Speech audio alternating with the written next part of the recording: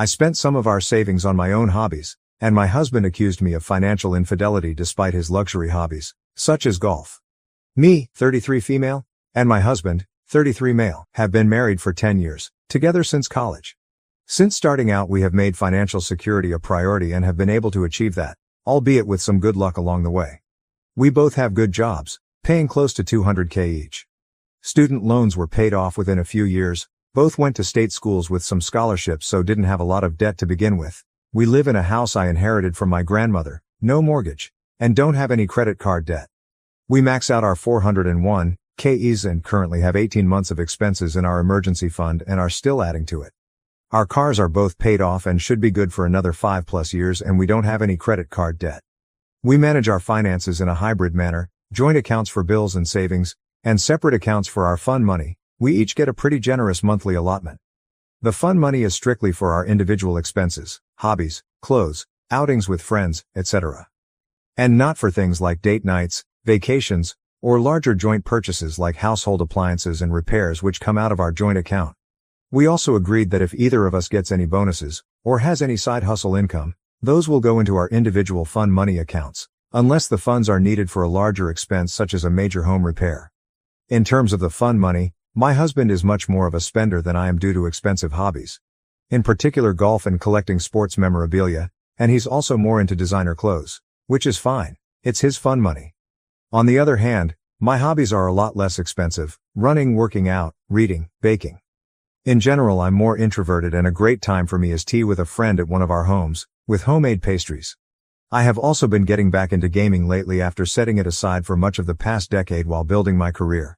After realizing I had more than enough in my fun money account, I decided to overhaul my gaming setup and got myself a new PC, desk and gaming chair, total cost of about $5,000. However, upon hearing about the purchase, my husband is furious. He says he had no idea I had saved so much money and that I should have consulted him before spending $5k. I asked what difference it made if it was my own accrued fund money and not our joint funds, and he insisted that my accumulating this amount, without telling him, was a form of financial infidelity. He says he lost trust in me and doesn't know what else I might be hiding. He is demanding that I return the items I purchased and deposit most of the funds to our joint account. He wants to make a new rule that fund money accounts can't accumulate more than 2K and that any excess goes back to the joint account, a rule that would obviously favor him as a person who spends most of his allotment each month instead of saving up for anything bigger. I feel like I am being punished for being more of a day-to-day saver than spender. It wouldn't occur to me to demand to know how much my husband has in his fun money account or to try to micromanage what he spends it on. I wasn't hiding anything deliberately. He never asked about it until after I made the purchases. Still, Maybe I should have been more transparent about my plans. So am I the arsehole. Miscellaneous info. Husband and I each have our own office, hobby room in the house so it's not like the gaming setup was going in a space he uses. I don't usually game when my husband is home unless he's already busy doing something else. My biggest block of gaming time is typically when he's off playing golf. Also, I run 40, 50 miles a week so it's not like I'm generally sedentary. I can't think of a good reason why he would object to me gaming or having a nice gaming setup in my own space in the house. Comments and OP's replies. A commenter asked OP, Girl, what does he actually contribute to your household? OP then replied, Perhaps because I'm home all the time, having a very tidy home and fresh cooked meals is a priority for me. I primarily do those things for me and not for him even though he benefits as well. I'd still have to cook and clean if I were living in the house by myself. Unless I wanted to hire someone to do those things, but I don't as I genuinely enjoy cooking and housework. We do have breakfast together most days unless he has to leave early, dinner together most days, and weekend date or activity time in addition to pursuing our own hobbies. He's smart, hilarious and a delightful companion, at least other than this latest issue. I realize I haven't emphasized the positive in this thread, because I've been pretty pissed huh, but other than this he has been a great partner and husband. People are confused on how much money they have, so OP elaborates. Together we have joint cash savings of 250k, plus retirement savings approaching the seven-figure mark. When asked, could he be hiding a debt gambling addiction? OP replied, I manage all our bank accounts and check them daily and also handle all the bill pay. Nothing suspicious so far. He admits he's not great with money and would spend more without a budget. Update 1, 8 days later. My husband finally calmed down enough to have a conversation with me.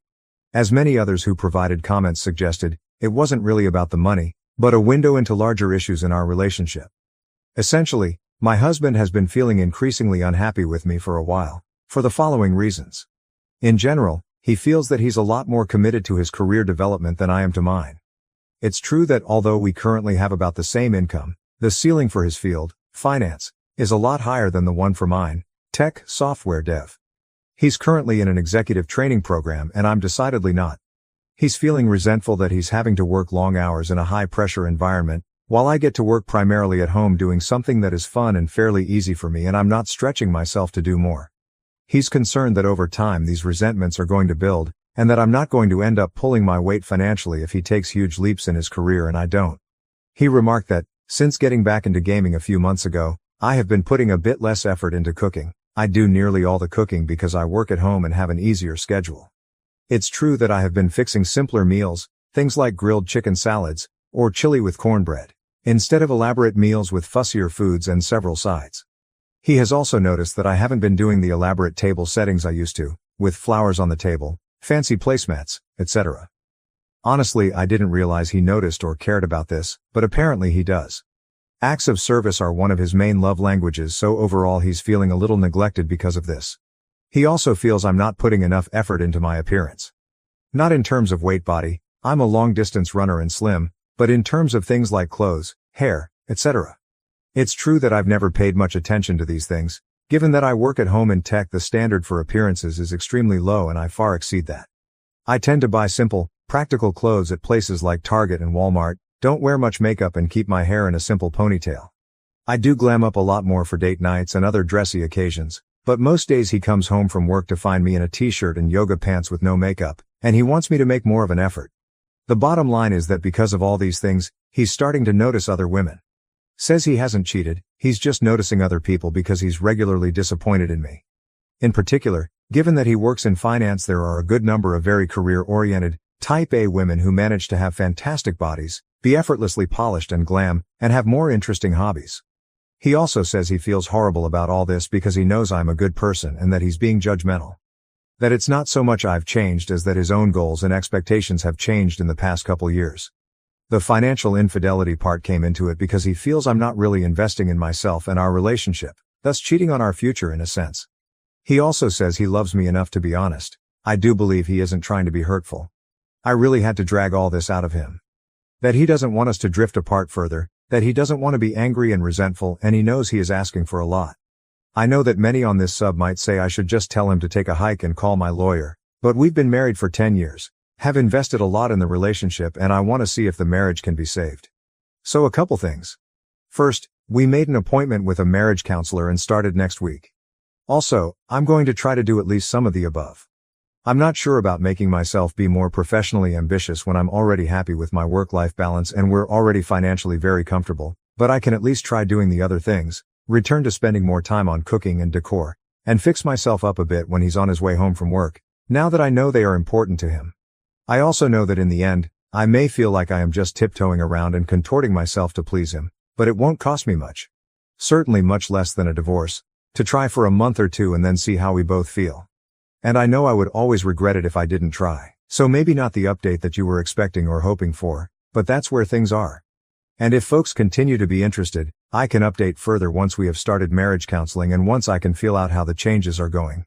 I need to call it a night but once again thank you to everyone for your responses. They were really eye-opening and helped me to see that I do deserve better than the way I am being treated and that the expectations my husband is laying out for me are unfair and unrealistic, especially as he isn't doing anything at all to make it easier for me to meet them or to show me he appreciates my efforts and everything I do bring to the table. I am indeed conditioned to be very people-pleasing and that is impacting what I think is reasonable here. I have a lot to think about, such as, what do I asterisk really asterisk want here? What is going to make me happy? Especially if I have to keep making myself smaller, metaphorically speaking, and contorting myself to please my husband. Do I really want to be in a marriage under those conditions? I think I'm really selling myself short if I just agree to most of what he demands.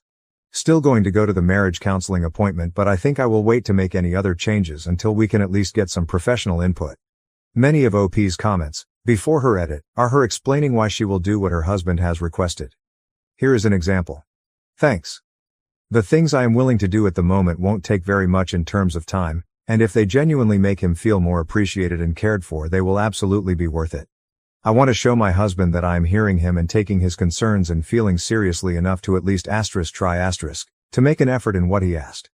If it doesn't work it doesn't and we can still separate a couple or few months down the road, but I would definitely regret not even trying. Update 2.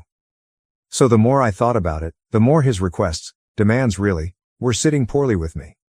I decided to try a little experiment over the weekend to see what would happen if I tried to meet some of his demands. Not because I actually thought they were reasonable, but because I increasingly had the sense that the goalposts would just keep moving and that I was playing a losing game.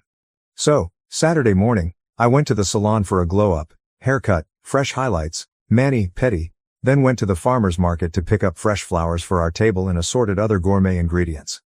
Saturday is usually our date night out but I suggested we stay in so I could make us a special dinner, steakhouse style, lobster bisque, bread basket with several types of rolls, savory muffins made from scratch.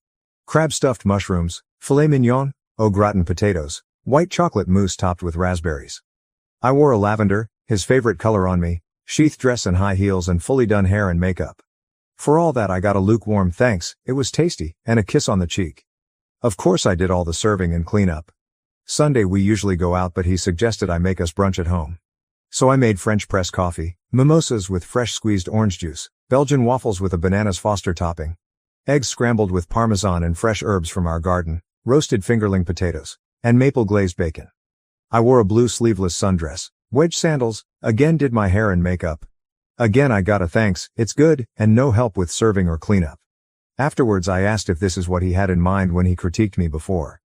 He said that it was a start, but that I was acting very entitled for wanting credit for basic adulting. He then dropped a bomb that he was being so hard on me because he had realized lately I had a lot to make up for due to my being a low-value woman. I asked what on earth he meant by that and he said it was because I wasn't a virgin when we met. What? Keep in mind we started dating at 21, neither of us claimed to be virgins or stated that as an expectation. Except for very religious people, neither of us is, I don't think most 21-year-old college students are virgins. I was upfront with him then that I'd had two previous partners, my high school boyfriend, we went our separate ways when we went to different colleges in different parts of the country, and another boyfriend I'd had my first year of college. And that's it, both committed relationships and nothing casual. He then went on to say that because of my low value, I was going to need to be making it up to him for the rest of my life. That I didn't deserve monogamy or equal treatment and that I was lucky that anyone at all wanted to marry me. And that he's connected with someone from work so if I wanted to keep him I'd better step up. I told him it didn't sound like there was anything to keep if he no longer loved me, or even liked or respected me. Told him to leave and he said he would gladly go to his girlfriend's place. I know so many people here insisted he was having an affair and I just didn't want to see it, that his complaints were really all part of a campaign to distance himself from me. I feel so foolish for just thinking he was going through a stressful time at work or that he genuinely wanted to work on our marriage. Anyway, I have taken the week off from work to get my head together. Have an appointment with a lawyer tomorrow. Cancelled the marriage counseling appointment but got a referral to an individual therapist who can do an intake session with me later in the week. He, and the girlfriend apparently, are coming this evening to get more of his clothes and things so I have to brace myself for that. Also, please be assured I do not think I'm low value in any way. I let my husband make me think less of myself on some levels for a short time but now I truly see it was a him problem. Obviously we don't share the same goals and values and he has become someone I don't recognize. I know the divorce won't be fun or easy, but I will be okay. Thank you all for helping me see that I was being played before I wasted too much more time in a marriage that was already over. Comments and OP's replies. A commenter said, a spouse who is having an affair starts criticizing aspects of the betrayed spouse's appearance, taste, upbringing, values, and background that were never an issue before he or she chose to stray as, in their warped perception, justification for cheating. I will bet you dollars to half moons, a bakery treat from my childhood home, that OOP's non-virginity was not a true problem for her STBX or he never would have married her. He simply latched onto it as rationalization for his outrageous demands, a deflection from his infidelity, because it's something that she cannot change. I would say that he is the low-value partner. OP replied, yes, this completely makes sense now.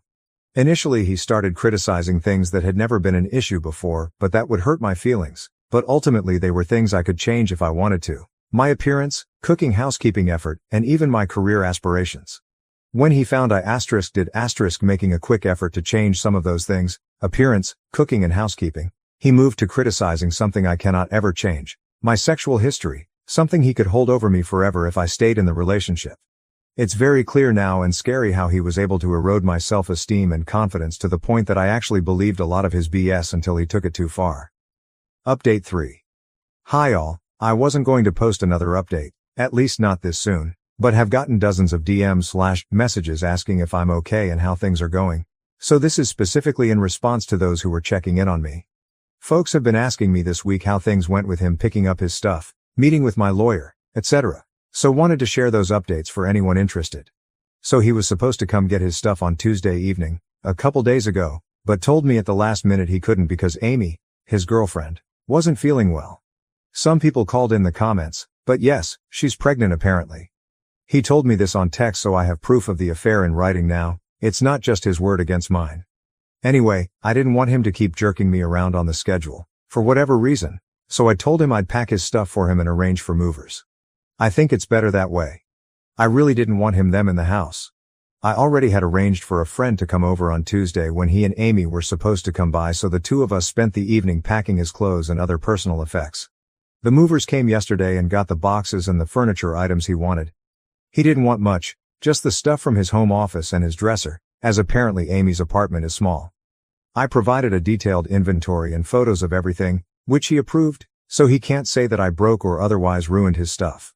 After that yesterday I went to the clinic to get STD tests. Won't have the results for a week or so, but thankfully I haven't had any symptoms. And met with my lawyer, who said I had a good case for grounds of adultery and mental cruelty if I want need to go that route. At a minimum it's leverage to get him to settle quickly and quietly.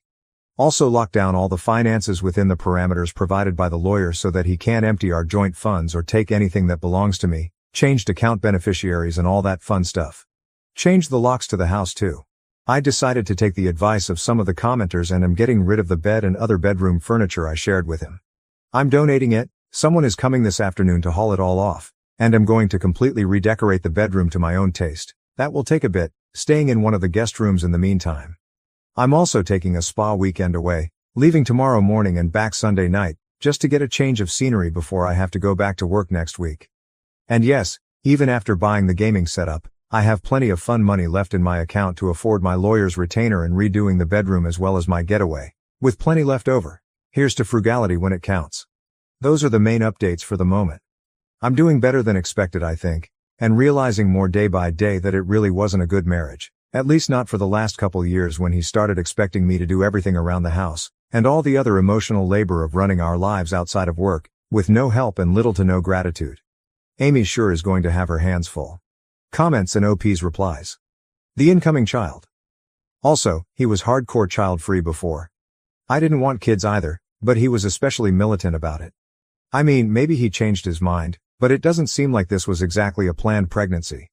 Plus, he can't even be bothered to put his own laundry in the hamper or put a dish in the dishwasher. How is he going to deal with an infant? Anyway, not really my problem and I guess he'll figure it out. Or not. Is he her superior at work? My understanding is that they are peers, he isn't her boss. I don't think it is against the rules for co-workers of the same level to date.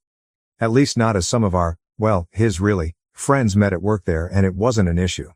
So for that reason I think I'll stay out of it. Especially as I do want him to stay gainfully employed until the divorce is completely final. Still, I agree it's awfully foolish to have an affair at work that results in a pregnancy while one of the people is still married. I mean, you can't hide that messiness, it's going to be physically obvious. Further info on that? Right, it's probably going to cause some drama at the office but isn't fireable unless they do something even more foolish like getting caught in the act at work. As far as I know nothing like that happened, when he was disclosing the affair the other day he said that he often went to her place after work when he was supposedly working late, and sometimes on Saturdays instead of playing golf. How is a 24-year-old making the same amount of money as your ex? They are both in an executive training program for fairly recent MBA graduates. Amy is apparently some sort of prodigy who got hers at 21. My STBX started out in supply chain management, then the company paid for his MBA which he finished a couple years ago and after that, he moved to the finance side and was accepted into the training program earlier this year. She's 24, apparently graduated from college at 18 and got her MBA at 21. And he just got his MBA a couple years ago, and was on a different business operations track before switching to finance. Once again, I cannot thank everyone here enough. I need to get ready for my spa weekend away. So apologies if I have not responded to your comment or DM, but I am really grateful for all the support and encouragement. Hopefully there won't be any more notable updates for a while. I really just want a smooth and easy divorce and to get on with my life. So please keep your fingers crossed for me. Update 4. I'm updating again here because a lot of kind people have been checking in with well wishes and to see how I'm holding up. Sorry for not updating sooner, but as soon as I got back from the spa weekend I mentioned in my last update, I dove into working with my attorney on the divorce settlement and didn't think it wise to put my business on the internet, however anonymously, with the legal issues up in the air. The good news is that we were able to come to an agreement pretty quickly and everything is now executed. Just waiting for the court date which could take another couple months, but my lawyer says the agreement is airtight.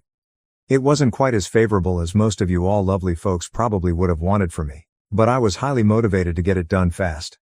I did get everything that really mattered to me. First, the house I inherited from my grandmother is 100% mine, along with all the furnishings and other effects in the house. My own retirement accounts and my fund money account are all mine as well. Otherwise, I did have to give him 75% of the other cash assets. Although he wasn't on the title for the house, he did contribute substantially to the large renovation we did, as well as to upkeep since then, and the house appreciated very substantially in the years since we moved in. It's fine as I still have plenty of money, especially as I'm quite frugal most of the time and can rebuild cash savings quickly. Our agreement also states that neither of us has a claim on each other's past, present, or future earnings. So in case something happens and he loses his job before the court date, I won't be liable for any alimony. This is actually overall a very good deal for me and gives me a lot of security.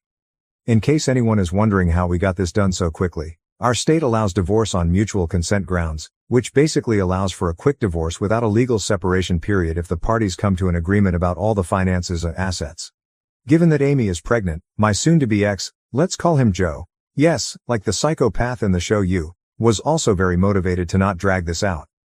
Now for the real dirt of this update. Last weekend, shortly after all our papers were signed, Amy reached out to me. She asked if we could meet and talk. Perhaps I should have declined, but I will admit I was curious about the 24-year-old prodigy and until recently a virgin person who was Joe's affair partner, so I agreed to meet her for lunch. So the first thing is, Amy is asterisk very asterisk pregnant, like the third trimester. She confirmed she is due in mid-October, which means the affair has been going on a whole lot longer than Joe let on. Whatever, it's water under the bridge as the divorce is almost final. However, after some polite but chilly pleasantries, she asked me, when am I going to be moving out of the house? Because surely Joe has been patient enough with giving me time to get my life together. And her apartment is small and they are needing space for the baby. Uh, what? I told her she must be mistaken as the house is mine, inherited from my grandmother, but asked her, what else has Joe told her about me, and our marriage? And, lie after lie, Joe's lies, that is, tumbled out of her mouth, along with crumbs of the real story.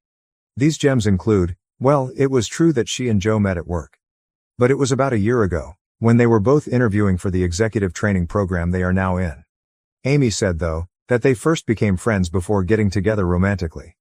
Apparently, Joe told her that he was legally married but that we had been separated in spirit and living separate lives since 2020. But he didn't want to kick me out and make me homeless during the pandemic because I didn't make much money and we live in a HCOL.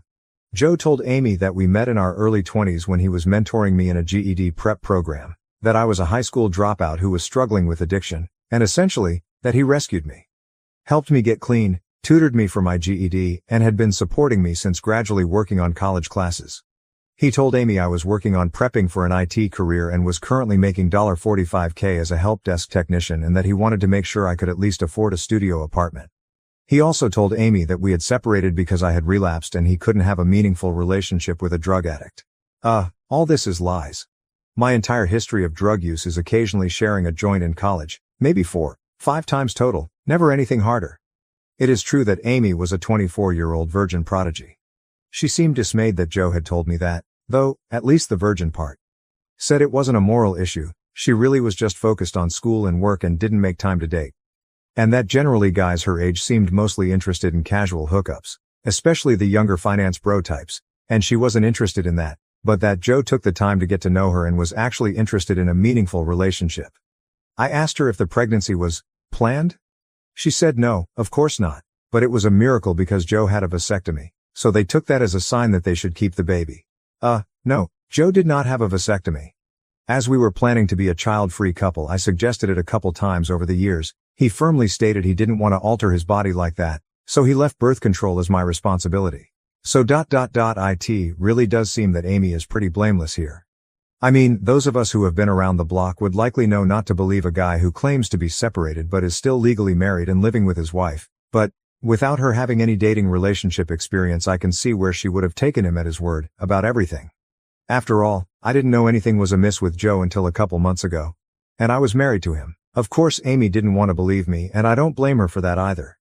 After all, she's been in a relationship with Joe for close to a year and is seven plus months pregnant with his baby, who is coming soon, ready or not. I couldn't immediately refute everything she said, but showed her a couple things. First, a picture of me in my late teens with my grandmother in front of my house, and also, my LinkedIn profile, which shows my current job and education. Told her to do what she wanted with the info and to please stay safe and take care of herself, and then said my goodbyes.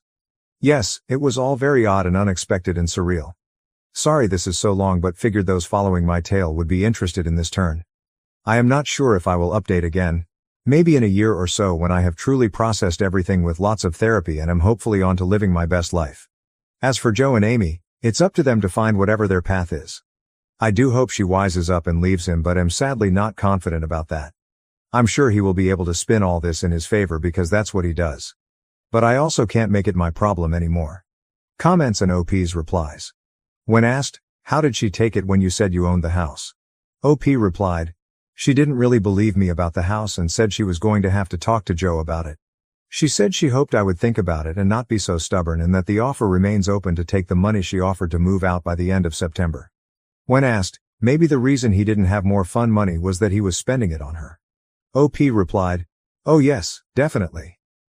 A lot of the golf days were actually spent with her, not golfing, and he only played golf once or twice a month, not weekly as he represented to me.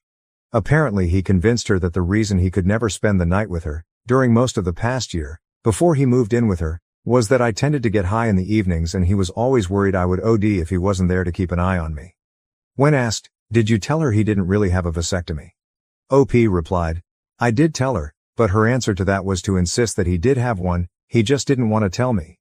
Because he had only gotten one because although he did want kids, he didn't want to bring them into the world with a drug addict spouse. Final update. Three months after the last update. Last time I updated, we had thankfully quickly agreed on a divorce settlement that allowed me to protect my most important assets, and I had just met with his mistress Amy at her request.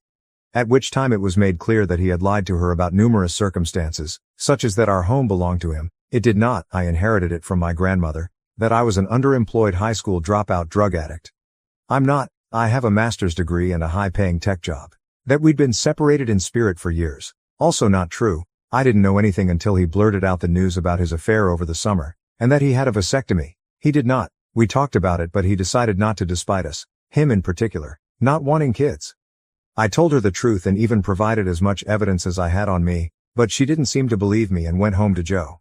I know quite a few people have been reaching out for more news, but I wanted to wait until my divorce was finalized to avoid risking any complications, and also just thought it best to let things settle for a bit. The good news is, I'm now divorced. The final decree came through a few weeks ago. It actually all went very smoothly. I'm eternally grateful to live in a mutual consent divorce state that allows divorcing couples to proceed quickly if they can come to an agreement on finances and property.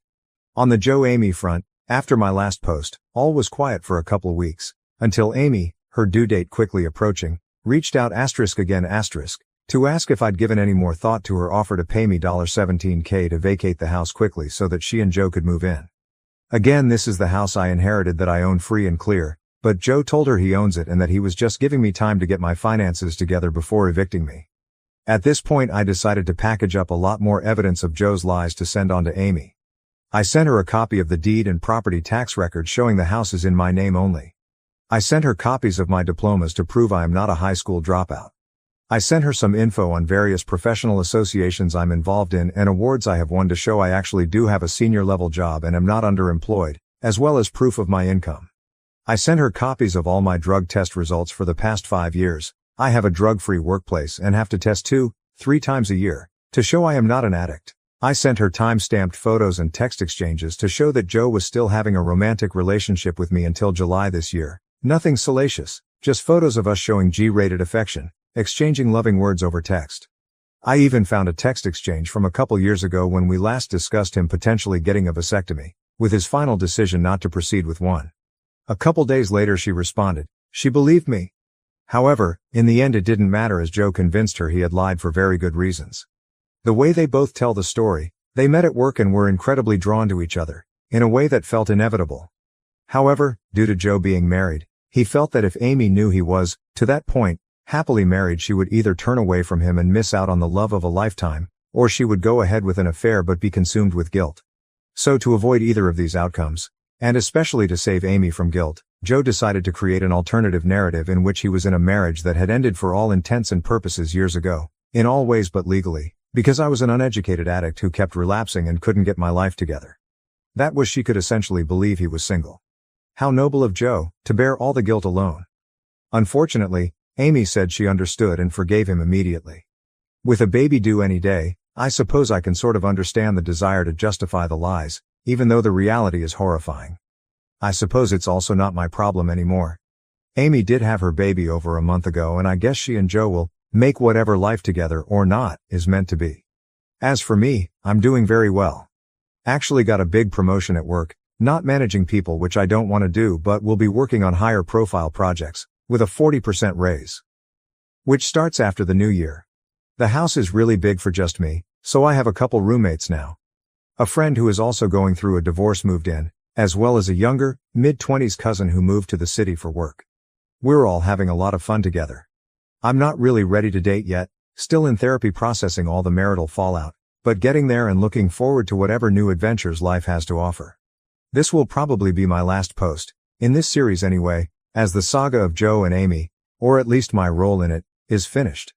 With us legally divorced and having no ongoing financial or other ties, the best thing I can do is leave them to their own story and get on with my Joe free next phase. Thank you all for listening to my story for much of 2023. I do truly appreciate the support and helpful advice I received along the way. Thank you for watching. If you haven't subscribed yet, Please do so and hit the notification bell to stay updated with more shocking real life stories happening around you. After my dad died, my mom threw out all of his belongings to make room for her partner and forced me out, saying she didn't want filth from the past. My father died three weeks ago, following a protracted illness. He had been diagnosed with multiple sclerosis a few years back. He fought valiantly, but he soon became unable to continue, and we lost him. It was a great emotional blow for me because I was much closer to my father than to my mother. I, 18M had no idea how to feel, and I was just starting to deal with my sadness when my mother decided to toss me out of the house so she could move in with her boyfriend. Within one week, I lost my father and discovered that my mother had been having an affair with a coworker all along. I'm not sure if my father knew about it, but it doesn't make a difference. I was outraged when she brought home her boyfriend just four days after my father died, and we had a heated argument after he left. She told me that this romance had been going on for a long time, basically since my father was diagnosed. She stated I had no idea how tough it was for her to have a sick partner, and so I had no right to blame her for finding love elsewhere. She also stated that she was aware that she would eventually lose her spouse, therefore she saw nothing wrong with what she was doing. I informed her that what she did was extremely pathetic. She told me I had to leave, so I paid for it the next day. She didn't want any filth from the past in her home anymore, and she wasn't just talking about me. She and her boyfriend had begun moving a lot of belongings from my father's room in the morning. By the time I awoke, there were crates in the front yard. My mother informed me that I could either take the boxes with me or burn them. Either way, they were all leaving her house. They gave me a few hours to gather my belongings and depart. I opted to spend my time packing my possessions rather than disputing with them. My mother's actions suggested she was too far gone, and I didn't want to sacrifice my dignity by speaking to her. We had pretty well stopped getting along a few months before my father died because she was constantly fighting with him. I didn't believe it was proper to dispute trivial matters and be so mean to him, especially because we knew he wasn't going to make it. After learning of the affair, I lost all respect for her, therefore I was relieved to be going. I made a few phone calls, and after a while, my girlfriend said she could speak with her parents and allow me to stay with them for a few weeks until I could get back on my feet and make other plans. I am quite appreciative of that. I've been living with them since my mother booted me out, and they've been quite nice, particularly my girlfriend. We've just been dating for three months, and she didn't need to do this, but I'm grateful to her. On the day I left, I grabbed the boxes that my mother had thrown away, which included my father's stuff, as well as my own. I figured I couldn't let them burn since that would mean losing the remainder of what my father left behind. This made my room really cramped due to all of the items, but it was worth it. For the past few days I'd avoided even glancing at those crates, let alone rummaging through them. The reason was simple, it reminded me too much of my father, and I was not prepared to confront it. I knew I'd end up bawling on the floor since I already missed him so much. So I'd been avoiding it like the plague. However, two days ago, I made the decision to go through some of the boxes, regardless of how difficult it was.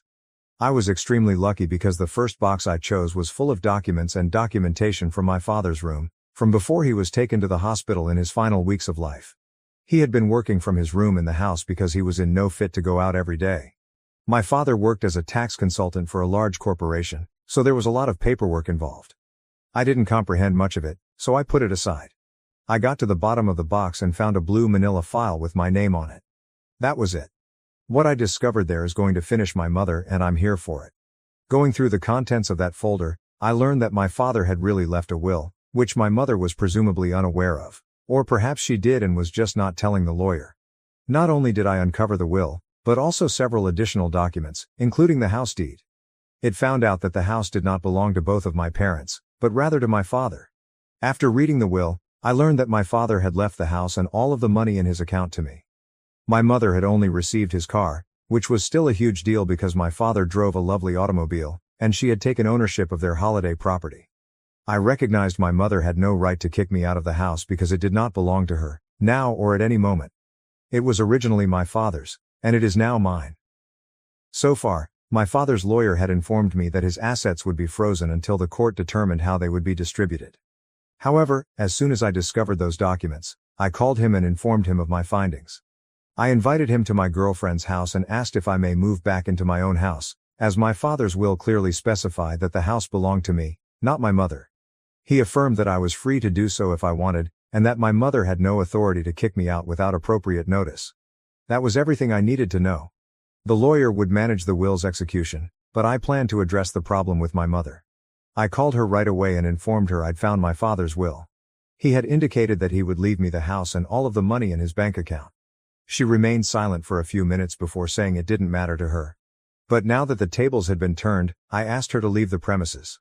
The house never belonged to her, and she had done nothing to deserve it. She'd been nasty to my father and now she was being horrible to me. I informed her that I wanted her out by the end of the week. That's when she began groveling. To be honest, I anticipated her to argue with me because that is how she has always been, argumentative and unpleasant to everyone around her. Instead, she begged me not to say or do anything because she had convinced her partner to move in by promising to handle everything. Apparently, her co-worker was married but had recently filed for divorce, and his ex-wife was demanding a large sum of alimony, which was understandable given that he cheated. He was concerned about it, and my mother promised him that she would manage everything for him. This meant allowing him to live with her so he didn't have to worry about housing or rent and could concentrate on his divorce. If I approached them and stated that the house did not even belong to her, she would be screwed.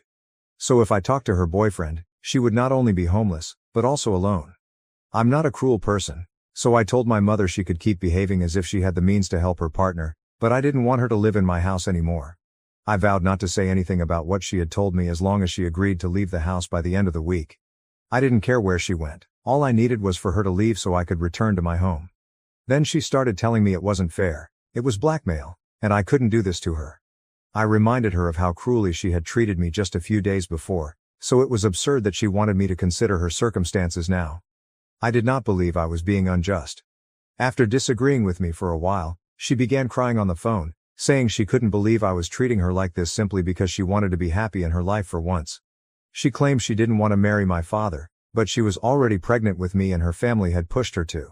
She claimed my father had never treated her properly, had always been preoccupied with his work, and had never made enough time for her. She was only trying to have a good life with her partner, and the only reason she kicked me out was because she knew I was like my father. I wouldn't stand in the way of her happiness. She stated that my actions were proving her point. I didn't know what to say at this point, so I told her she had one week and hung up. Since then, I've been feeling rather guilty. I'm not sure why, but hearing her cry over the phone made me feel horrible. I'm not sure if this is because I'm doing anything wrong, or if it's simply because I'm a sensitive person who can't bear hearing people cry. I'm bewildered, so I'm here to ask, AITA, Why did you tell my mother and her boyfriend they had one week to vacate the house? Edit. I don't have any family in this state, so I had to rely on my friends for aid. I've spoken with my grandparents because I'll be attending college in a few months and will need their support to handle expenditures. After describing the issue to them, they severed relations with my mother. She's probably not worse off for it, because she never got along with her own parents and only had a cordial relationship with her in laws. Regarding the will, I'm not sure why my father left the house and all of his money to me, or why he hadn't discussed it with his lawyer. I did ask my father's lawyer about it and he revealed that he had been urging my father to prepare a will since he was diagnosed, but my father kept claiming he would do it later. Now, it appears that he left behind a holographic will because there were no witnesses or lawyers involved, which may make it simpler for my mother to fight it. We'll deal with it as it arises. Fortunately, in our state, even such wills are regarded as genuine. And I'm thinking my father was aware of this. As for why he left the most essential stuff to me, I'm guessing it's because he presumably drafted this document while at home, and my mother had been arguing with him over nothing in particular. She was only arguing with him because she could, and he couldn't just leave her, no matter how upset he was. I suppose that is why he took this decision, and to be honest, I believe it was a good one. To address your questions, I don't know my father's specific motives, but here is my theory. Update 1. Hello, I am still living with my partner, and after reading the comments, I have decided to rethink my decision. I will continue to insist that my mother leave the house, but I have chosen to modify the terms of my agreement. After I posted the last update, many of you urged that I consider the possibility that my mother will fight the will, which would cause me a lot of grief. I thought about it, and you were correct. I didn't think about it at first, so I called my mother back. I informed her that I was now willing to give her six months to locate a place and move out of the house. She looked astonished when I mentioned it because we hadn't spoken since our last conversation.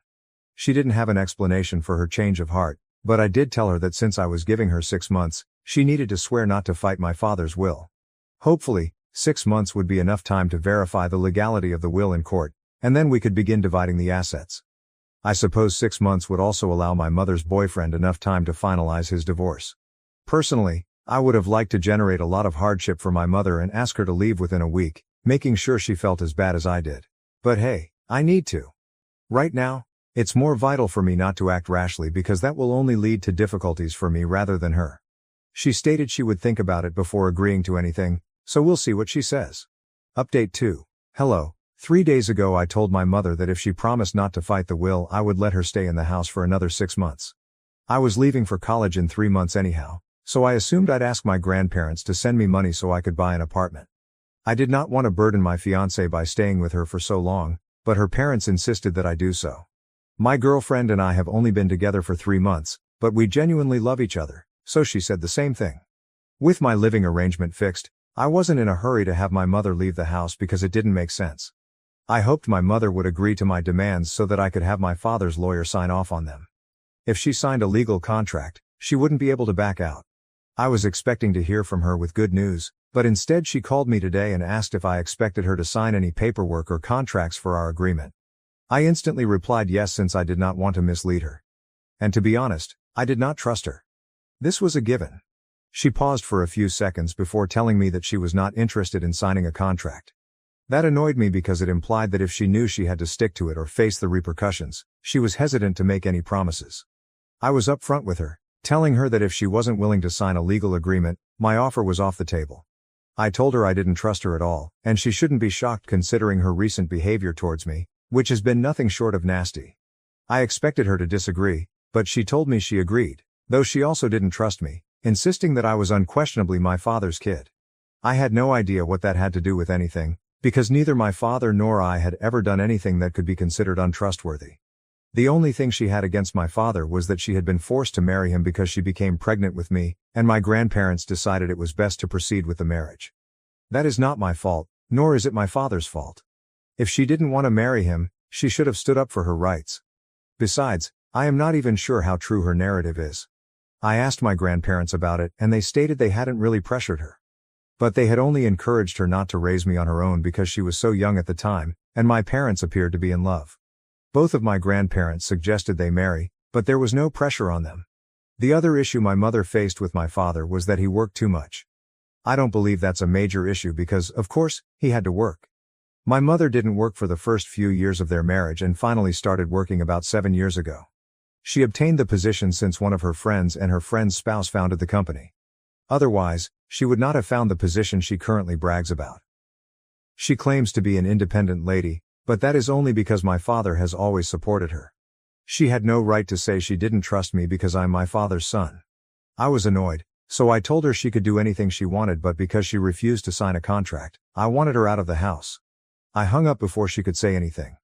She tried phoning me numerous times after that, but I was too annoyed to speak with her. She hasn't called in the last half hour, but I'm confident she will. I will only talk to her after I've calmed down. Update 3. My mother did not call me again following our last talk, as I described in my previous report. I waited for her to call for the next two days, but she just did today. I was nervous because I wasn't sure what to anticipate. To be honest, on the one hand, I genuinely wanted her to agree to the deal I proposed, in which I let her reside in the house for six months until she could make alternative arrangements, in exchange for her not contesting the will. I thought I was being fair, but after our last disagreement I wasn't sure she would agree. When she called today I tried to be kind and civil because this wasn't just about her. I also had something to lose. I was expecting positive news, but as soon as I picked up, she informed me that she had made her decision. She opted not to sign any contracts. Instead, she was determined to fight the will, and she had even consulted with a lawyer about it. I was taken aback because this obviously meant she would no longer be residing in the house, which belonged to me. I told her that if she contests the will, she will no longer be able to live in my house. I hoped that would bring her back to her senses, but she said I had no authority to kick her out because the will had not yet been ratified. She had a point, but she also had no authority to kick me out because we were in a bit of a gray area right now. I told her we'd probably have to live together until the probate was completed. That concept clearly made her uncomfortable, and after a few seconds, she informed me she'd look for a place to live, but she'd take her time because I had no right to tell her what she should do. I assured her again that she could take as much time as she wanted, but that I would be back by the end of the week. She began ranting, accusing me of being a bother and claiming she had done nothing to deserve the harassment I was subjecting her to. I almost laughed because her claim that I was bothering her was the biggest joke of the century. She kept attempting to rant but I hung up because we had nothing else to talk about. She'd made her decision and I didn't think I could change it anymore. I'm going to do what I believe is right and she can't stop me. Her partner, who is going through his own divorce, will not be much assistance to her either. I, on the other hand, have my family, girlfriend, and friends on my side. In fact, I believe I will tell her boyfriend the truth about my mother because I have been withholding information for far too long. Since she has made up her mind, I have decided to be an inconvenience, and there is no reason to keep this a secret any longer. Update 4. I did it. I informed my mother's lover the truth about the situation at the house. I don't think he had any notion until recently, which is strange considering he lived with my mother. This is a major deal to keep from your boyfriend, especially since she was still in contact with me, and I'm sure he would have asked about it. But I assume she's pretty adept at keeping secrets. After all, she hid her affair for a few years. It was not difficult to reach him. I just searched him up on Facebook and sent him a message containing proof. I also explained why I was telling him the truth now and not earlier, because I had been negotiating with my mother. But since she had made it apparent that she was not interested, I believed he had a right to know the truth. I sent the message two days ago and I finally heard from my mother today. I was expecting an eruption, but I didn't realize it would come so late. Anyway, she tried contacting me this morning, but I blocked her out of frustration. I've also blocked her on social media. When she ran out of other ways to contact me, she set up a fake email account and sent me a message from that address. In the email, she said that I should be pleased now because I had caused so much drama between her and her boyfriend for no reason. She claimed he had decided to leave her and return to his wife to attempt to work things out, blaming her for the entire situation, which, to be honest, he was correct about. I'm not really sure what she's furious about. The message was lengthy, and it contained warnings that she would make sure I paid a high price for this. All I could think was, she can bring it on. Truth be told, she no longer scares me. I've already lost all I could lose, and there's only one direction to go. Up. So, I'm looking forward to the court case. Update 5. Hello guys, I haven't kept you updated on what's been going on in my life over the last year, and I believe it's time I did. As I previously stated, I was looking forward to the court process, and my mother did end up fighting the will. The case got to court, and my father's attorney and I fought as hard as we could. Long story short, after eight months, we eventually received a favorable ruling. The will was validated and upheld. This happened two months ago, and I'm still really pleased with it. My mother had to give up the house, and we no longer communicate with her. I have no idea what she is up to, but I am delighted she received her karma. Even her own parents have stopped communicating with her, so I'm pretty sure she's not living a joyful life right now. My neighbors told me that on the day she moved out, her boyfriend came to help her. So I'm betting they're back together, because no self-respecting lady would return to a man who had cheated on her. I'm very sure his wife rejected him, so he crawled back to my mother to make things right, and she gratefully accepted him back. Honestly, I'm pleased they're together. They deserve each other. I'm confident my father is beaming down at me from heaven because I've demonstrated resilience, strength, and a willingness to stand up for what is right. I'm in college now, set to begin my second year. My grandparents are currently supporting me financially, and they will continue to do so until I find work, for which I'm glad. I know many of you are intrigued about my relationship. She also attends college, and we meet on weekends. In fact, we're arranging a little break for just the two of us this weekend. We are still going strong and are really serious about each other. Life is currently serene, and I am grateful to be at this point. Getting here was the most difficult part. After that, everything else felt easy. Thank you for watching. If you haven't subscribed yet, please do so and hit the notification bell to stay updated with more shocking real-life stories happening around you. I allegedly received pictures of my wife naked. She denies it. The truth that I cannot believe is behind those pictures. I'm John. That day I'm sitting in my office at home, the glow from the computer screen barely lighting up the room. It's just another evening, or at least it was supposed to be. Lisa and I have been married for three years now. It's my second shot at this whole marriage thing, and I've been putting everything I have into it. We've had our good days and bad days, like any couple, but I've always believed that what we have is solid, built on mutual respect and understanding. As I glance at the clock I see it's just after 7 p.m. That's when an email notification catches my eye an anonymous sender, which is odd and unsettling. Curiosity mixed with a hint of dread compels me to open it. Attached are several pictures with a message that chills me to the bone. See for yourself what your wife does when you're not around. I hesitate for a moment but then click through. The pictures start loading, and I feel a cold sweat breaking out. They show a woman, engaged in sexual acts with different partners. The woman's face is cleverly obscured, no eyes, no complete facial features that would make her instantly recognizable. Just parts of her mouth, her nose, things like that. Despite the lack of full facial recognition, a sinking feeling in my gut tells me it's Lisa. I know her body, every curve, and every line, there's no mistaking the familiarity of the shapes and details in those images. But there's no absolute proof, just a terrifying possibility. I try to tell myself it can't be true. This has to be some sick joke or a mistake. But denial is a heavy blanket, suffocating and full of fear. I run my hands through my hair, trying to make sense of it all. My heart is racing, anger bubbling up, but there's also betrayal, slicing through me. I sit back, overwhelmed by emotions. How do I even begin to deal with this? The thought of confronting Lisa terrifies me as much as it compels me. What if it's true? What if it's not? I'm caught in a storm of doubt, and every possible outcome feels like it's going to tear my life apart. I shut down the computer. The screen goes dark, and I'm left in the quiet of my office, alone with my thoughts.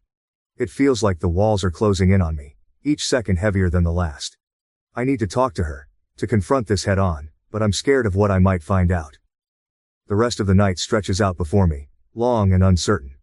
I reopened the email after a brief respite, steeling myself against the tumult of emotions it had already stirred. The images, still there waiting like uninvited guests, seemed even more imposing than before. As I began to click through them, my focus narrowed on the crafty ways each photo was manipulated to obscure the face of the woman they claimed was Lisa. In one image, the angle was such that her hair fell forward, curtaining most of her face except for her lips. Those lips, slightly parted in a familiar expression, sent a jolt through me. They resembled Lisa's, especially the way the upper lip peaked in a subtle bow, just like hers when she smiled. Another photo showed only the side profile from the nose down. Her nose, the slight bump on the bridge from an old high school soccer injury, was unmistakable. Or at least, it seemed so to me. Each photo was a puzzle, a sinister game of hide and seek.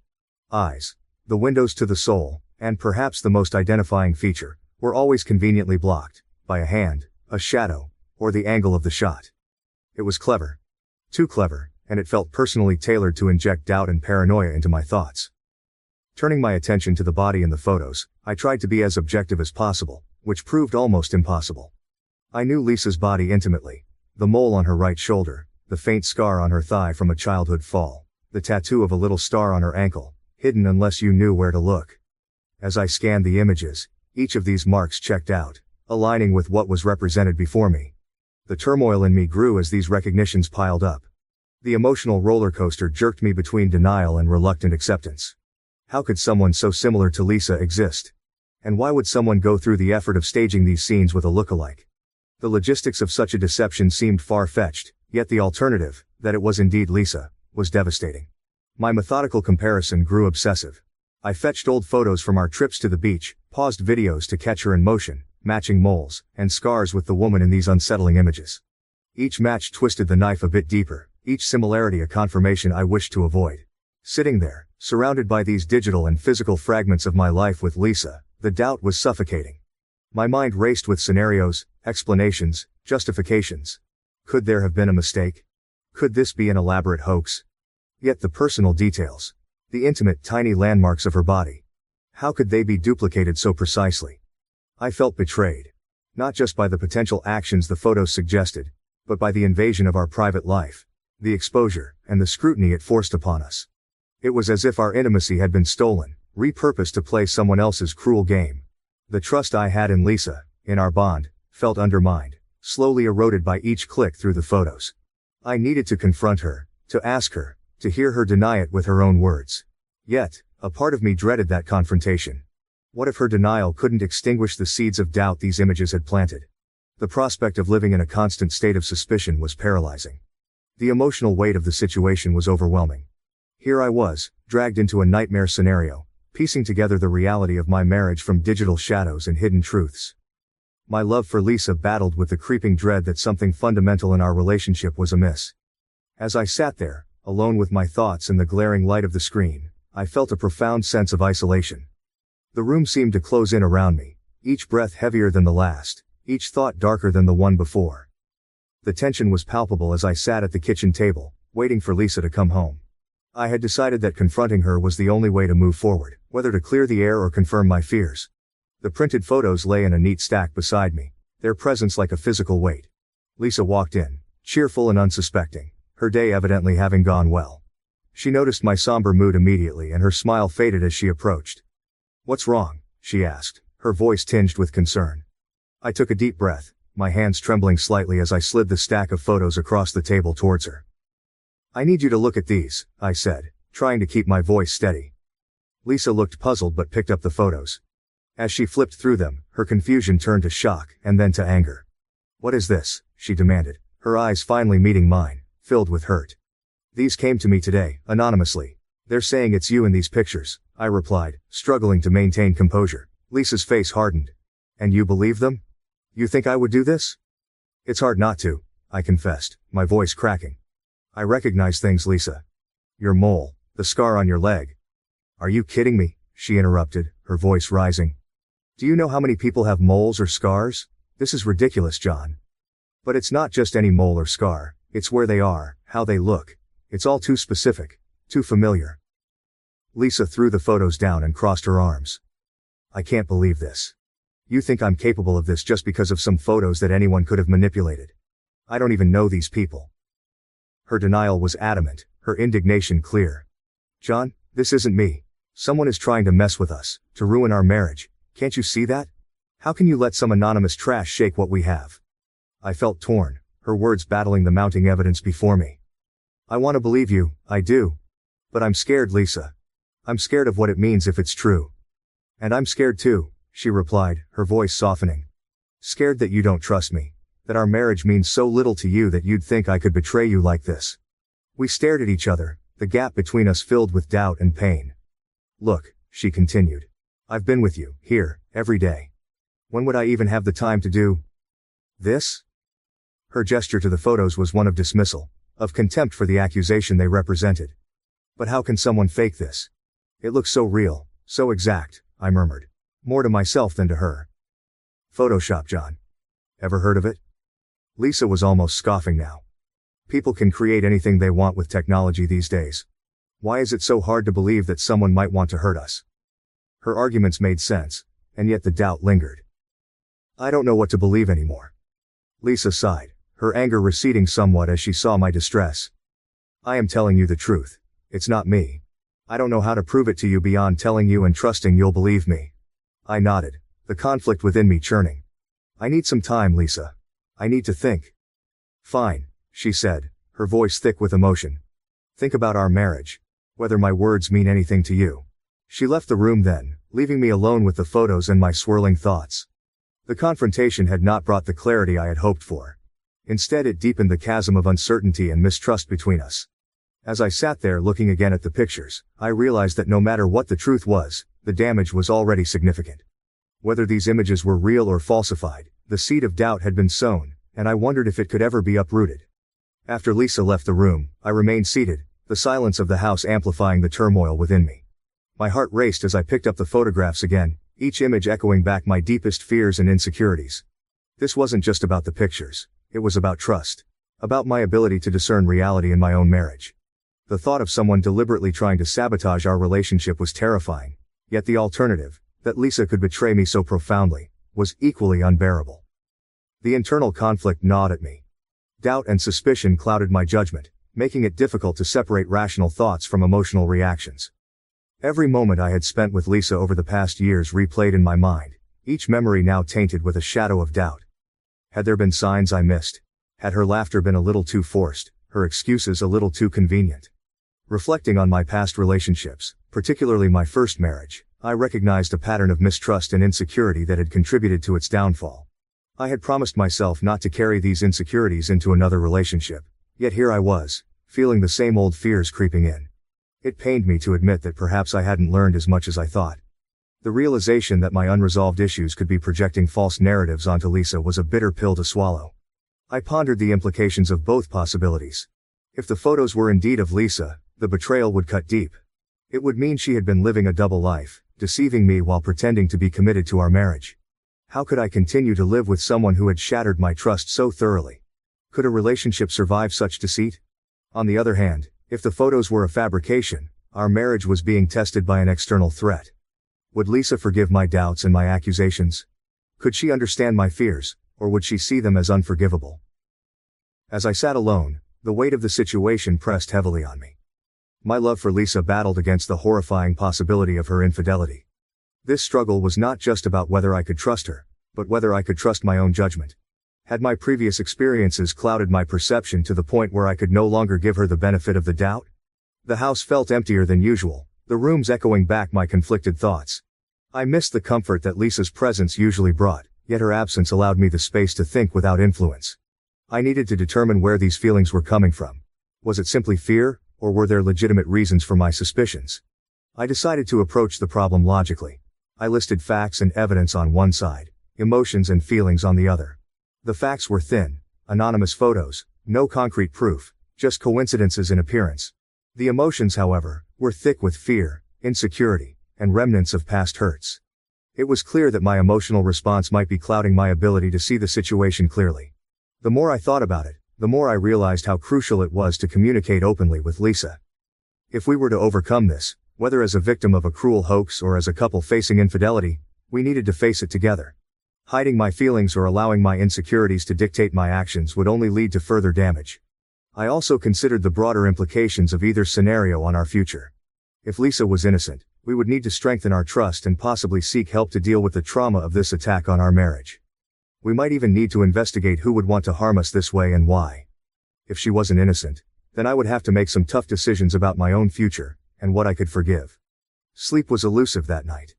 The bed felt colder, the shadows in the room longer. My mind raced with scenarios, each more painful than the last. The early morning hours brought no relief, only a deepening sense of unease. By dawn, I had reached a decision.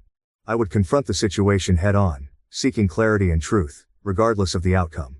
I owed it to both Lisa and myself to resolve this doubt once and for all, to reclaim the trust that was the foundation of our relationship, or to accept its collapse under the weight of truths too heavy to bear. As the first light of morning filtered through the curtains, I prepared myself to face whatever the day might bring.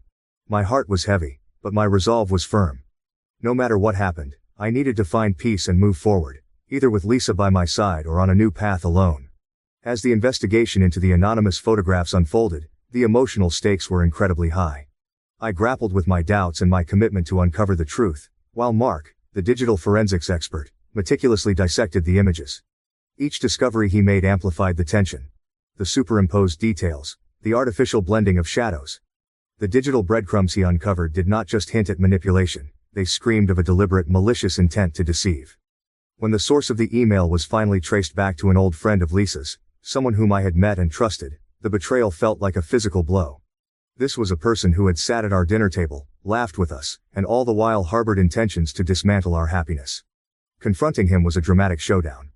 We met in a quiet corner of a local cafe, the air thick with tension. His initial denial added to the suspense, his face a mask of feigned ignorance. But as I laid out the evidence, his facade crumbled. The admission, when it came, was not just a simple confession. It was a torrent of pent-up jealousy and frustration. I loved her first, he blurted, his voice cracking with emotion. You were never right for her. I thought once you were out of the picture, she'd see that. His words were like daggers, but they paled in comparison to the pain of his betrayal. The confrontation left me reeling, not just from what was said, but from the raw, palpable desperation in his voice. Returning home to Lisa, I was a mix of emotions. The relief of having discovered the truth was tangled with sorrow for the ordeal I had put her through. Our conversation that evening was one of the most intense we had ever had. I recounted every detail, from the digital inconsistencies to the painful confession of her old friend. Lisa listened, her face a canvas of changing emotions shock, sadness, and finally, relief. I never doubted you, not really, she said, her hand reaching across to squeeze mine, a physical reconnect that spoke volumes of her trust and forgiveness. But knowing how far you went to clear this up, that means everything. Each day felt like walking on a tightrope, balancing between normalcy and the undercurrent of doubt and suspicion that the anonymous photos had introduced into our lives. During the day we tried to keep to our usual routines. Lisa went to work, and I handled my business from home. But the evenings, once a time for relaxation and togetherness, had subtly shifted. We still sat down for dinner together, still talked about our day, but the conversations often felt strained, punctuated by pauses that seemed to carry more weight than the words themselves. I noticed small changes in Lisa's behavior. She was quieter than usual, her smiles didn't reach her eyes as they used to, and she seemed to retreat into herself more often. It wasn't overt. Anyone who didn't know her as well as I did might not have noticed anything at all. But to me, these were loud alarms over the silent sound of our growing distance. Trying to bridge this gap, I made efforts to engage her in activities we both enjoyed, watching our favorite TV shows, going for walks in the park, trying out new recipes together. Sometimes, these moments felt like old times, and a sense of hope would bubble up within me. But more often, they served as stark reminders of the ease and comfort that seemed just out of reach. As nights turned into weeks, the uncertainty began to weave itself into the fabric of our daily lives. Each loving gesture, each shared laugh, was shadowed by the unspoken questions that lingered between us. Was this real, or just a facade? Could we truly get back to where we once were, or had something irrevocably shifted? The ongoing uncertainty was exhausting, both emotionally and mentally. There were days I felt optimistic, buoyed by moments of closeness or a particularly good day spent together. But there were also nights I lay awake, staring at the ceiling, wondering if the foundation we built our relationship on was strong enough to withstand this storm. In these moments of solitude, I realized how much of life is out of our control, how circumstances can change with startling rapidity, and how the known can become unknown in the blink of an eye. Yet it also underscored the importance of what remained constant, the effort, the choice to strive for understanding and to cling to the fragments of normalcy that could still be salvaged. As Lisa and I committed to moving forward together, choosing trust over suspicion, we sought the guidance of a couples therapist. This decision marked the beginning of a new chapter in our relationship. One that required facing our vulnerabilities and insecurities head on. Our first therapy session was tentative, as we both navigated the unfamiliar territory of discussing our deepest fears with a stranger. The therapist, Dr. Helen, provided a safe space, her office a sanctuary where words that often went unspoken could finally be aired. We discussed the impact of the photos, and I shared my feelings of betrayal not just by the anonymous sender but also by my own doubts about Lisa. Lisa spoke candidly about her sense of violation and the hurt caused by my suspicions. It felt as though our years together, our moments of intimacy, weren't enough to keep your trust in me, she said, her voice steady but tinged with sadness. Dr. Helen encouraged us to explore these feelings further, pushing us to understand not just the immediate reactions to the photos but also the deeper, underlying issues in our relationship. Trust isn't just built on faith, she explained. It's also built on the foundation of understanding each other's fears and vulnerabilities. Over several sessions, we delved into our pasts.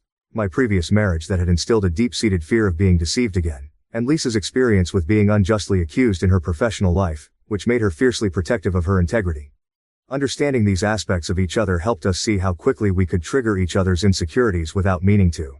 As we progressed in therapy, our homework was to practice transparency and vulnerability. We scheduled regular check-ins at home, where we shared anything that weighed on us, no matter how small it seemed. These moments were awkward at first, laden with hesitations, but gradually they became our truth sessions, filled with raw and honest exchanges. Therapy sessions were interspersed with activities designed to rebuild our emotional connection. We revisited places that held special memories for both of us, like the park where we had picnicked on our first date, and the beach where we celebrated our first anniversary. Each visit was an opportunity to discuss not just the past but our dreams for the future, slowly weaving new threads into the tapestry of our marriage. Dr. Helen suggested we write letters to each other, not texts or emails, but old-fashioned pen and paper letters. Writing allowed us to express thoughts and feelings that were too difficult to say out loud. Reading Lisa's letters, I saw the depth of her love and her pain, her commitment to us, and her fears about losing what we had. My responses echoed my resolve to move past my doubts, to affirm my trust in her, and my gratitude for her strength and patience. Halfway through the year, we decided to renew our vows. It was a simple ceremony, just us and a few close friends and family in the same little chapel where we had married. Standing before Lisa, repeating my commitment to her, felt profoundly different this time. It was a promise not just of love, but of faith in our growth and understanding as a couple. As we continued therapy, we learned to embrace not just the easy love of good days, but also the challenging love of bad days. We recognized that while the scars of this ordeal might never completely fade, they were testament to our resilience and commitment to each other. Through it all, Lisa and I learned to navigate this new reality, finding solace in our resilience, and in the understanding that while uncertainty might be a part of our lives for now, it didn't have to define our relationship. We were more than this crisis, and with time, perhaps we could rebuild what seemed threatened, finding new depths of trust and commitment amidst the turmoil. Thank you for watching. If you haven't subscribed yet, please do so and hit the notification bell to stay updated with more shocking real life stories happening around you. After discovering my husband's autism and kitty food preference, I faced deceit and marital stress, leading to my decision to divorce. Well, it's been a lot longer than the one week update I promised. I could make excuses, but I won't. For those of you who don't want to read my original post, I asked for help with my husband's food preference issues and through talking with many people on here and, ultimately, his mother, it was revealed that he was diagnosed with autism as a child. Some of the comments on my original post were, not so kind. I got a lot of accusations that still hurt me. Some just make me angry, particularly the person who commented simply, please don't bully him. He's my goddamn husband. Not a schoolyard friend, not a sibling, not a child. Infantilizing him doesn't help his case at all. Moving on. I was very upset as he had never mentioned anything to me. We've discussed all sorts of medical issues together, but his diagnosis never came up. I want to stress this. This isn't a matter of me not wanting to be married to an autistic man. This is a matter of my husband keeping something important from me and causing me a great deal of stress that could have been avoided if I was aware of his diagnosis. For example, I continuously pushed him to try new foods or attend concerts or visit loud amusement parks. I knew he wasn't particularly thrilled about any of those things, but they are all very normal couple activities that I wanted us to experience together. Had I been aware of his autism, I would have had a better understanding of how negatively these things affected him. And made more of an effort to integrate things he liked with things I liked, maybe a smaller local band, or a craft fair instead of an amusement park. Anyways. That's the backstory. Read below for the update. Update. I confronted him about my conversation with his mother the night before our counseling appointment. I made sure to bring it up casually so I didn't become angry again. He tried to brush me off at first, saying he didn't know what I was talking about. After talking for a bit, he eventually confessed that he not only knew of the diagnosis but deliberately kept it from me. He said I was his dream and he didn't want to do anything to ruin our perfect relationship. I explained how him keeping this from me hurt me. I explained how I could have been there to support him instead of feeling like he needed to hide. He said he wasn't ashamed of it at all. He explained that it's just not something that affects him anymore. I, again, explained how it affects me, but he didn't seem to care. I didn't show him the post I made, but I used some of the advice from you all to try to explain why his autism really does in fact still affect his life.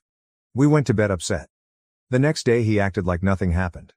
We ate breakfast, he had chicken nuggets, and went about our day. I kept expecting him to bring it up but he never did. I didn't have the nerve to bring it up again until later at the marriage counselor's office.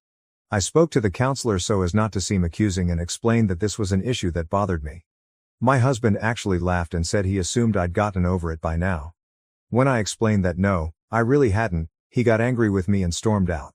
The counselor tried to mediate but it wasn't much use as my husband went to wait in the car. I was worried he'd leave without me so I cut the meeting short. Our ride home was quiet.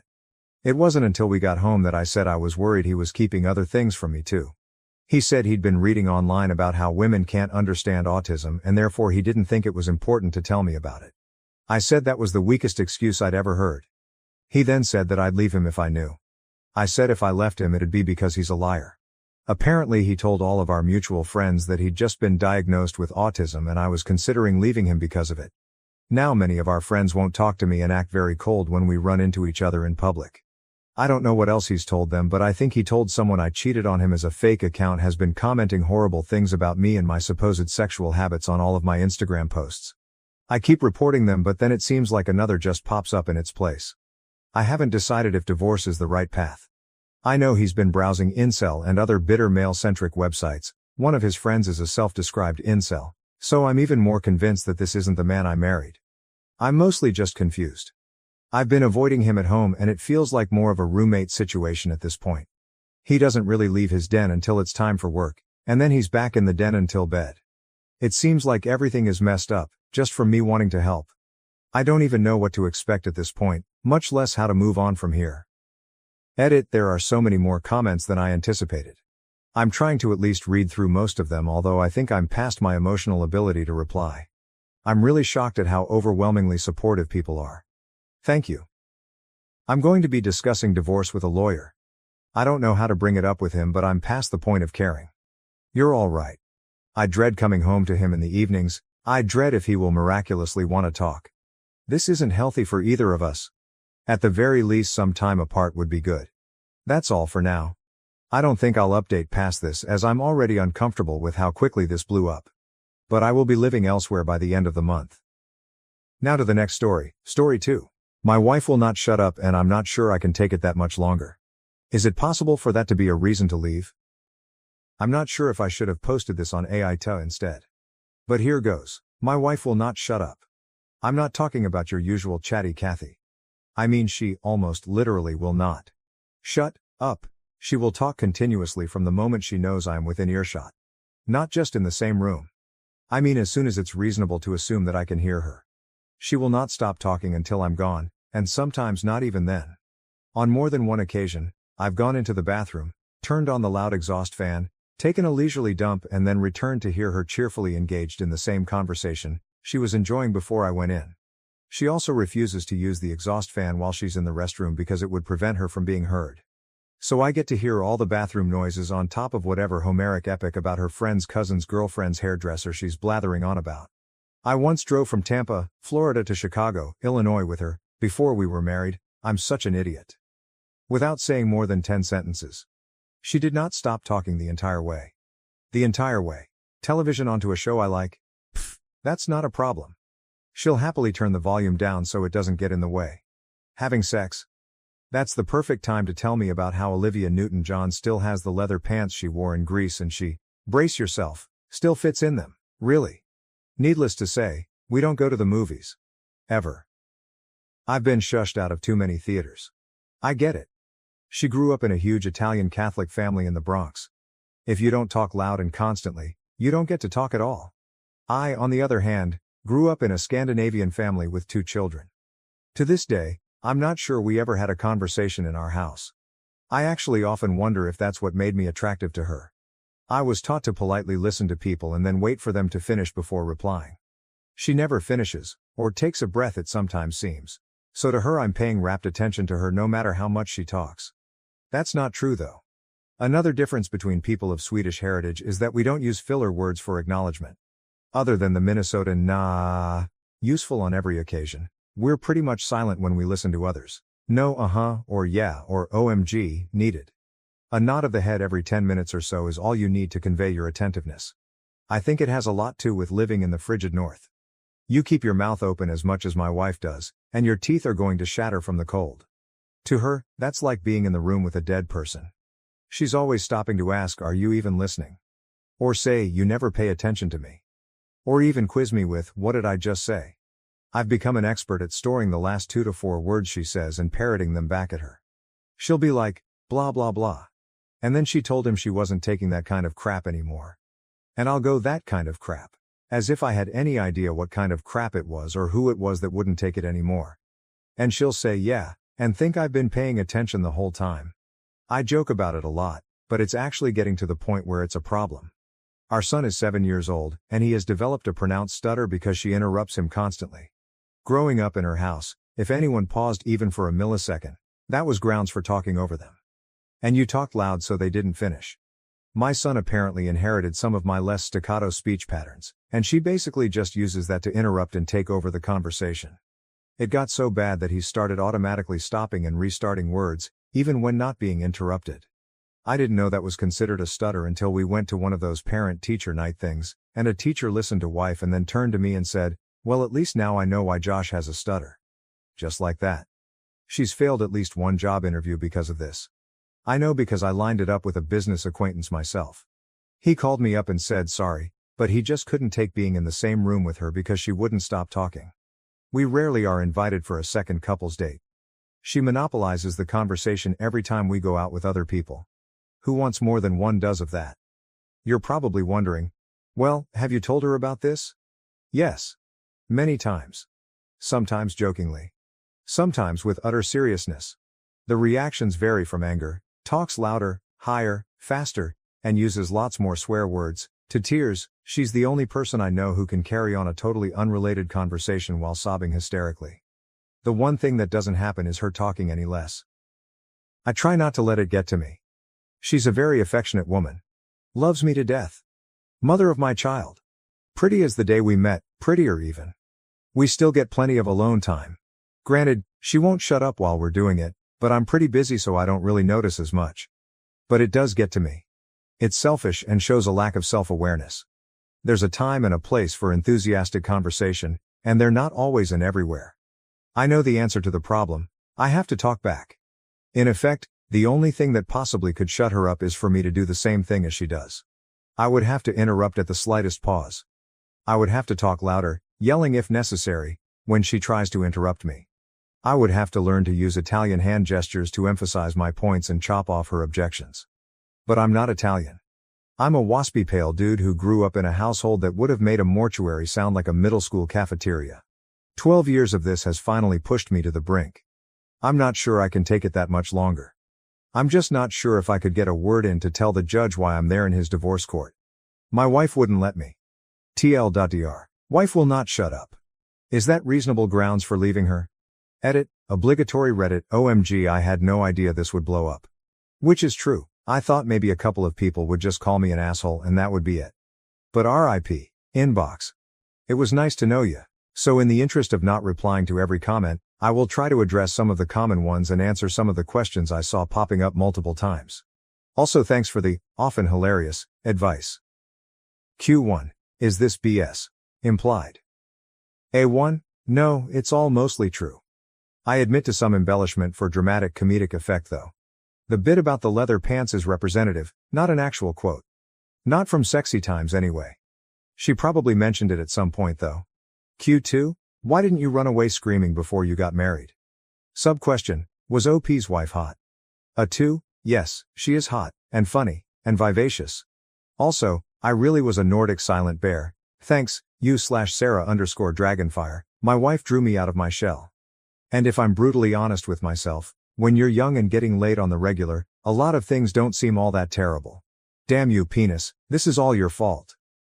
Q3, did your kid really develop a stutter because of this? A 3. Medically speaking, I cannot state this with 100% certainty. The cause was never formally diagnosed. However, I watched it happen firsthand. I'm not a qualified speech therapist, but I think it was a reasonable conclusion to draw based on the observations I made. I'd welcome a dissenting opinion from an actual professional though, if only to salve my conscience. Which leads to, Q4. Aren't you really the one responsible for your kid's stutter? After all, you did nothing to stop it. A 4, guilty. And I feel utterly like shit about it all the time. For the record, I did bring it up lots of times, even to the point of getting into arguments about it and speaking harshly to my wife when she interrupted my son. But I think by the time I realized it was happening, most of the damage was done. And anything I could do was more expressing my anger about it than actually making an effective change. All the rest of this weirdly long post is just ranting. If there's an actual justification for leaving, this is it, and I'm deathly afraid that she'll get full custody and just make it worse or even irreparable. Q5. Is it because she's, pick one, OCD, insecure, autistic, mentally ill? A 5. I don't think so, although I've always sensed an overwhelming need for attention. I see it in her family dynamic, in that all of her many siblings were in constant competition for their parents' attention and affection. Q6. Have you tried counseling? A 6. No, probably should have, but I know her well enough that even mentioning it would shatter her. It's bizarre that I can't bring myself to do a lot of things people have suggested, and believe me, I've probably thought of all of them, because they just seem too cruel to me. And yet, I'm seriously considering divorce. I realize the contradiction there. Thank you for watching. If you haven't subscribed yet, please do so and hit the notification bell to stay updated with more shocking real life stories happening around you.